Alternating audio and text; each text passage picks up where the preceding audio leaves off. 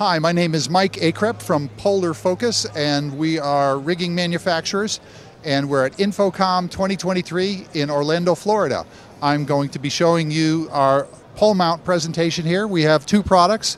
The bottom one, if the cameraman can point here, this is our PM2-10-GR, which is for smaller loudspeakers in the 50 pound class. We can put two products on this mount the mount has a 120 pound working load limit. It's secured by rigging rated stainless steel chain. The chain and the back of the mount only contact the pole with rubber so that we don't mar the poles or void the warranties. This upper unit, which is a 50% 3D printed scale model only for this trade show, normally it's a much bigger unit and hot dip galvanized.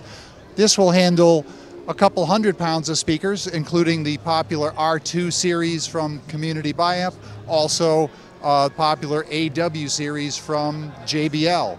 This is also attached by chain in rubber hose. This is secured by uh, under normal full scale, half inch galvanized turnbuckle ends to get a really secure attachment to the poles. And again, with all rubber contact to the pole, so we're not going to void any pole manufacturer's warranty. Thank you very much for joining us here at InfoComm 2023. You can reach us at www.polarfocus.com. Search on pole mounts.